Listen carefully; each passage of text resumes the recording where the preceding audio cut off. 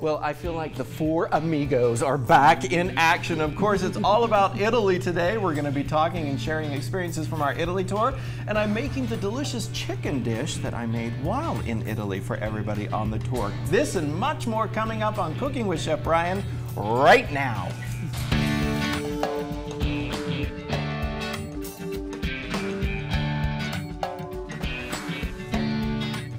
Well, I definitely think some introductions are in order here, don't you think? This is Bryan. So nice to meet you. Some people know me by Chef Bryan. Uh, it, it depends on the locale. In the grocery store, it's Chef Bryan, and I love when people come up and say that because I'm like, yeah, you're watching the show. Thank you. so introduce your wife, Carrie. This is my lovely wife, Suzanne Jackson. Some of you might know me as Sue, but I'm Suzanne. I'm Okay. Suzanne, I will not forget yeah. that. She's all grown up now, so she's she gets to be Suzanne. And of course, let me introduce you. Please. This is the very famous Kerry Jackson. You may hear him on the radio every morning I'm here not- in I'm the not- area. I'm not nearly as famous as this guy. Oh, I don't know about Like, that. seriously, You're we, both pretty famous. Let's get serious. we go to dinner. We go to dinner, and it's always, oh, Bryan, Bryan. I just kind of sit there. And, And then he starts talking, and people are like, oh, wait, I know that voice. and of course, Alicia Richmond, you all know Alicia here. She is our fashionista extraordinaire here on Channel 2, and she absolutely does a fabulous job. And this tour came about, our Italy tour, from us talking years ago. Yeah, what? We've been talking about this for like five years that we wanted to combine our. we have known each other a long time that we wanted to combine our loves of cooking Food. and food and fashion Yeah. and go to Italy. And, so we finally made it happen last year, and Carrie and, And Suzanne we went with tagged us. along. It was so much fun. And It do you was. remember the Florence Villa that I cooked the meal? The Oh, little it cooking so class beautiful. in? I'm going to show you all how to do that. So let's get started and just start with a few little basics here. All right. So this is one of the things that I talked about when I was over there is Brussels sprouts. You know, Brussels sprouts you can find all over the world, literally. And so many people have a love-hate relationship for these little little cabbages as I call them. But if they're prepared correctly, they are absolutely It's- delicious. It's, true. I started out hating them, and then Sue figured out a way to make me like them, and that is bacon. Bacon, is- makes everything better. It's true. It's very true. And so it's one of those things where if they're prepared correctly, they are delicious. And I always ask people, what is your favorite and least favorite foods? And when I listen to it, I can always say, okay, now if it's not a texture issue, I can prepare food in a myriad of different ways. I guarantee I'm going to find you a way that you're going to like the taste of that food. When you so, a- when you ask that Yeah. question, is least favorite food usually a vegetable? Usually it is. Yeah. Usually it is. Thought so. Mine would be Jello. I really hate Jello. I don't know why. I just it's. Ugh. We'll, we'll figure out a way. We'll I- make a I've- I've salad. Maybe. I should have you all submit your favorite Jello salad for me to try and like Jello. There Jello. you go. How's See that? they can convert you to a jello. flour. Absolutely. So Carrie, right over there, Yes. I have a bag. I'm going to get you guys fixing this meal this time. Okay, you ready for this? Yes, Sure. ready. Carrie, right there's that bag. Yes. If you'll grab that bag, and what I would like for you to do is to put each one of these chicken breasts in the bag Yes. and just flatten them to about a quarter of an inch thick. Flatten them. All And right, this I can do that. This is really important because when you do chicken breasts, there are two different thicknesses. You have a thick end and then you have a thin end, and by flattening them, they're all the same width, and so it cooks evenly. All right. So that's really important when you're cooking chicken. Okay, now we're going to start also with some. You just go right ahead. You I, go right I don't. ahead. I don't want to screw you up here. so No. Okay, so over here. It could get loud. uh, it could get loud, huh? All right. There you go. There you go.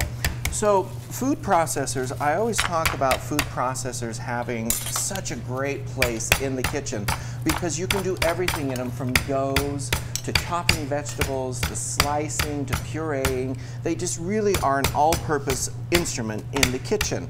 And of course, you know, over at Macy's, I have a story. You know, my friends at Macy's, and I'm not saying this. That's my favorite This- one because this- we work together at yes. Macy's a lot. But I have a story. So years and years ago, I bought the 14 cup Cuisinart online, Yeah. and it was close to a thousand dollars when I bought it. I mean, it was one of those things that I saved up for and was so excited about it. And then I found the same exact mixer, uh, food processor at Macy's, and it was like $400. Yeah, they've come down a lot in price. Uh, no, this was like recent. I mean, not too far after I had Oh, bought it online, Oh, and so I was a little bitter by that. So, buying online isn't always the cheapest route. I actually prefer to buy in the store, I do too. so I can hold it in my hand. And I like the at it, personal, and, and I can take it home. Yes. I can Yeah, take it home with me. So go check them out there at Macy's department store. So Sue, I'm going to have you just slice up these Brussels sprouts. And this is one of those things that by slicing them up, I'm going to be able to add a lot of flavor to them easily to do. So Okay. that's very important. So all you have to do is put them in there, put the lid down on there, and push on, and it's going to slice that up. Push it right down. Woohoo! Look at that go. Whoa, and then turn. That is. Yes. So that is one thing that is so wonderful um, to do. And I actually did um, this exact same type of a dish for my brother and his family when they came over, or my sister and her family. But I actually blanched those sliced um, Brussels sprouts and then tossed them in a vinaigrette and let them marinate. It was really, really delicious. Well, and I was going to say something that you taught me that I never knew, and I love all vegetables, Mm-hmm. but probably Brussels sprouts is the hardest for me. But when you uh, roast it and mix it with a little olive oil, it's amazing how much better It and a little sea salt that the vegetable can be. it is truly amazing. And it's easy. People don't realize how easy it is to do something. It like is that. fairly easy, that is for sure. Now I'm going to grab some I- salt and pepper out of here. That's that should be That's plenty enough? right Okay. there. Good. I'm going to grab some salt and pepper out of here, and we're going to get these chicken breasts cooking. I'm going to toss them with a little bit of uh, flour and some salt and pepper, and then saute them. And we're going to create a delicious lemon caper chicken dish. Ooh. So it's going to be fantastic. But I have got a great trip for you, uh, treat for you guys. I prepared a video that we're all in of our trip to Italy, Yes. and I want you to take a look at it. And if you see something fun, let's talk about it while we're Okay, watching it. sure. Let's take a look. Remember this one? That was that's I me. remember that. That's one. Carrie. Yeah. God, Carrie, the pasta over there is just the pasta, the pizza. I mean, the fresh foods and the art. I mean, just on the sidewalk. Yeah. So, Oh, and this Tuscany. was, And uh, this is in Tuscany, which there I Alicia am. in the wine store. Yay. Wine store. Here we are in Florence. Oh, there's Ed's head. this is my favorite Isn't that city. beautiful? The Duomo Florence there. is beautiful. Oh, this is the villa that we did the cooking class in. That's so. Amazing. And this is the that's the kitchen. kitchen. See the fire there? I mean, you can't It looks build. like a movie set. You can't build a movie set to look 13th that well. century too. I Now, mean, coming up all right original. behind it, you're going to see the plates on the counter, which I grabbed and about had a heart attack because of Scott. because There's they were the, Rod. the actual The original. original plates of the Yeah. villa. And I'm like, oh, Just I love it. I love it. It's just such an amazing and beautiful country. It is. Oh, hi. Well, of There you course. guys are. there you are. Of course. Now Venice. you can come with us to Italy. Just go to columbusvacations.com, October 13th through the 22nd. And the rate is $22.89. That's for the land tour. Now, this is going to be a trip that you cannot get anywhere else. One, because Bryan and I are going with you. We do a lot of fun shopping in the markets um, for clothing and for food. But you can go right onto the homepage of columbusvacations.com. And we'll you'll talk more about this when we Yeah. come back. So we'll be right back to finish up the chicken and all this delicious Italian meal. Special thanks to my friends at Klondike Brands Potatoes for helping to make this segment possible.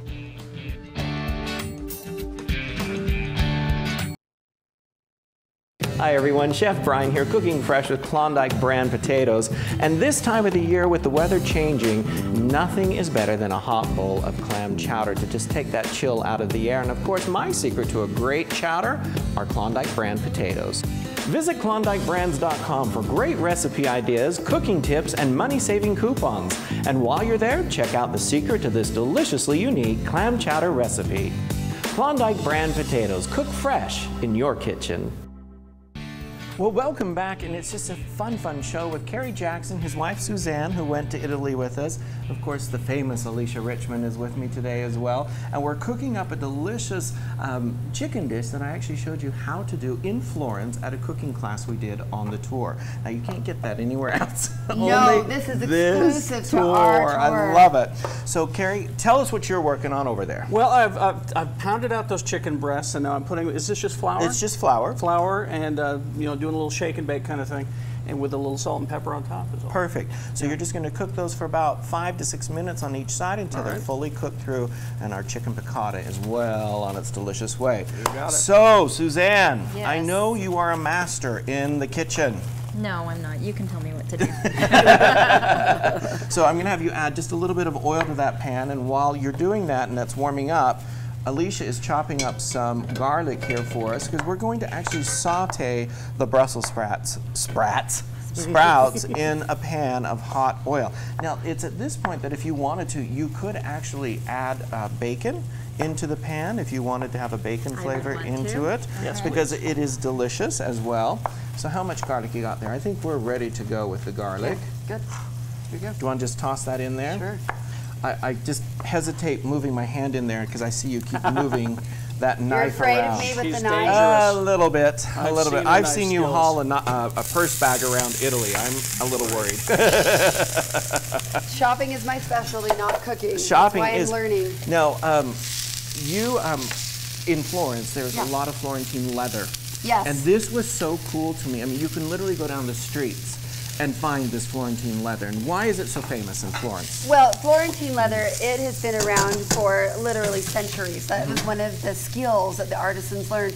And they, they're famous for their patina, Mm-hmm. which is the shine on the leather. And you can notice in Florence a Florentine leather, and it has an official stamp on it. Oh, okay. And it's so fun because there's these outdoor markets, you see these amazing handbags, and you think, okay, can those be good quality?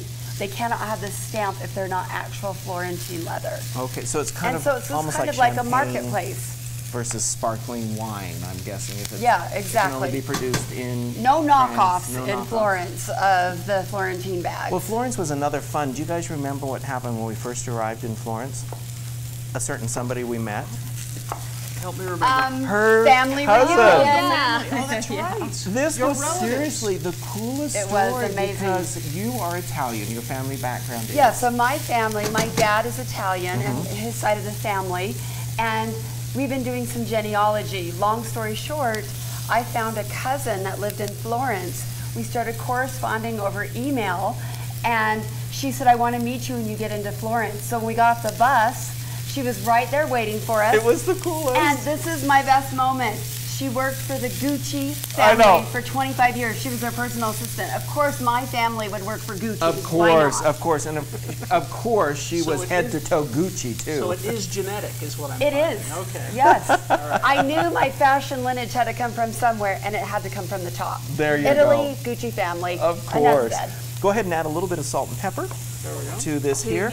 And of course, I'm using some great seasoned salt from my friends at Real Salt. Just add that in there. oh, the pepper went up my nose. a little bit of salt in there.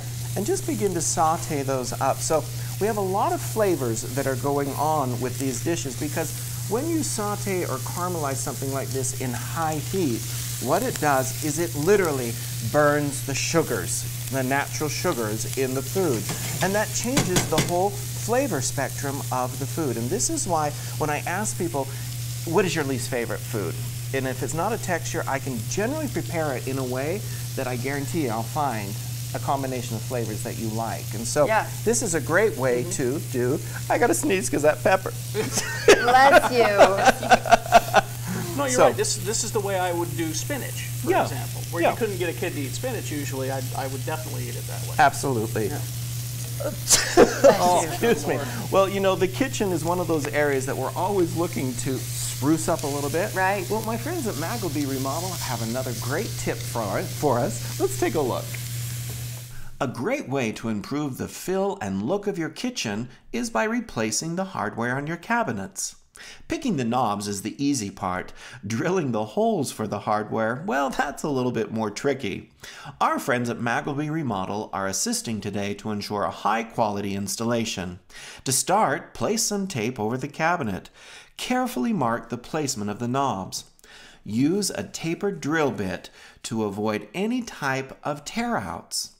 Be sure when drilling the holes that you have secured the cabinet face and steadied the drill. A hole in the wrong place can be fixed, but not very easily. Another tip from Magleby is to use a screwdriver when assembling the knob. Using a drill can often lead to stripping screws or damaging the threads of the hardware. Installing other types of hardware follows the same process. Make sure to always measure twice.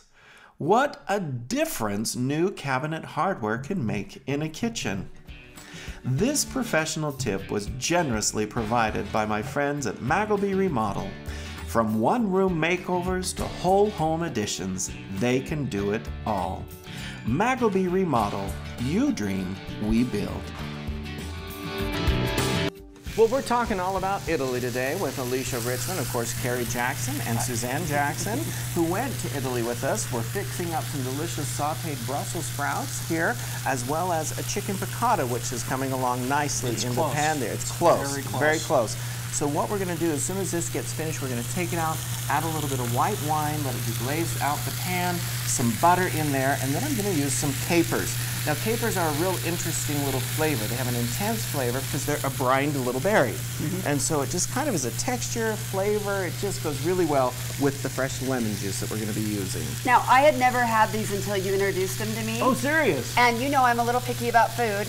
Um, let me rephrase this. Alicia Richmond is the most picky eater I know. Are you are you Italian or Italian? That's what I'm wondering. You're so picky. I'm worried that you're Italian. Italian. I am not. Okay. I cannot be friends with Bryan Woolley, Chef Bryan Woolley, and not learn how to love food. But Dive it's in. True. Really, I love capers. I cannot believe how much better and more flavorful they make certain dishes. And Oh, it was I amazing. owe that to you, my friend. Heart, It's heart the you, miracle Alicia. of the caper. Heart you, Alicia. Let's give those one Right. more turn. And you know, I have to say, my favorite part about our Italy trip when we went, honestly, was the food. Yeah. You know, it's Beautiful. Oh, it's nothing like Americanized Italian food. The, the food, even in just these little places that you ah. go to, you would get this incredible dish handed to you, and, and you, you just didn't expect it. The food was so amazing. That was mm. one of my favorite parts of the trip, was just eating everything. Oh, everything. And San Gimignano, which was this Oh, little hill our town. favorite. Do you remember? It was In my, Tuscany. really our In favorite. Tuscany, yeah. Great little city. It made me appreciate white wines more. Oh. They, they locally they make a, a He delicious. drinks it now. I Oh. drink white wine now. It is so light and crisp and delicious.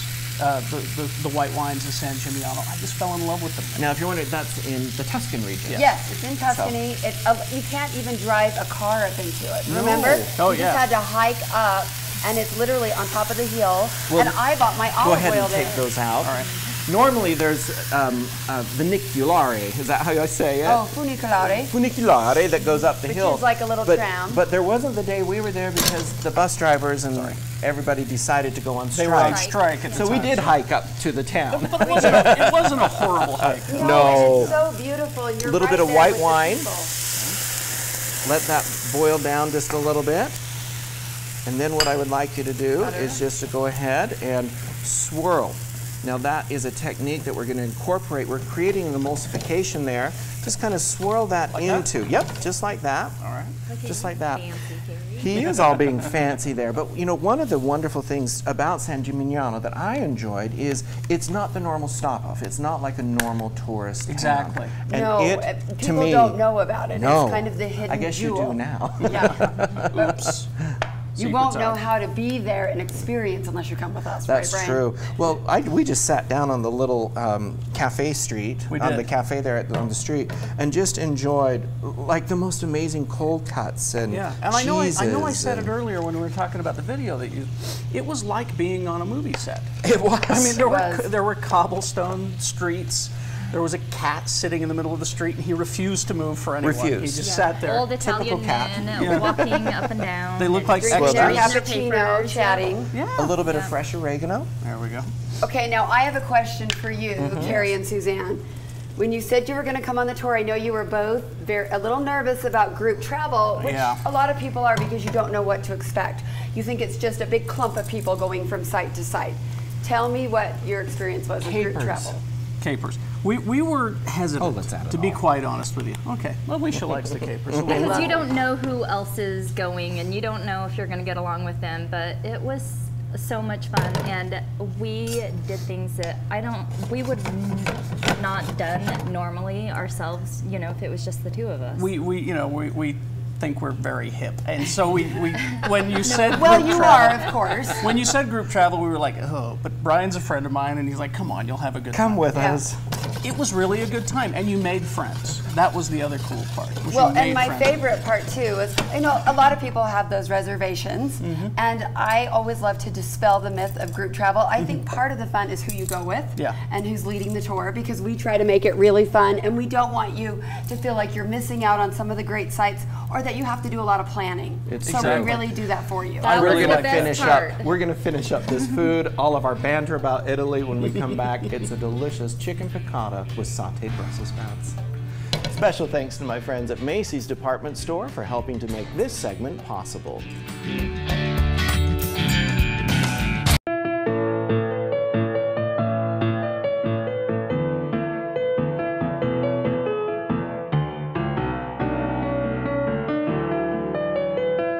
And fresh from your oven. Rhodes. Special thanks to Camp Chef, the way to cook outdoors, for sponsoring the show's closed captioning. Thanks to all of the sponsors of the Cooking with Chef Bryan show Real Salt, Real Foods Market, the Utah Beef Council, Klondike Brands Potatoes, Rhodes Bake-N-Serv Dough, and Macy's Department Store. A special thank you to all of them. Well, let's finish up this chicken piccata. And Carrie, I must say, I am most impressed with your culinary prowess here. Me hold pan over fire. you squeeze lemon Yes. into sauce. so to finish it off, a little bit of fresh lemon juice into there, and it is done. And we have our beautiful chicken breasts that I've just placed here, nice and browned. I'm going to just spoon some of the capers, or not the capers, the Brussels, Brussels sprouts, sprouts. right over top of it here. And I have to say, this is truly a dish. And what a fun Italian trip that we went on to. And I mean, you won't get this experience anywhere else from food to fashion to All the art, just the history. art.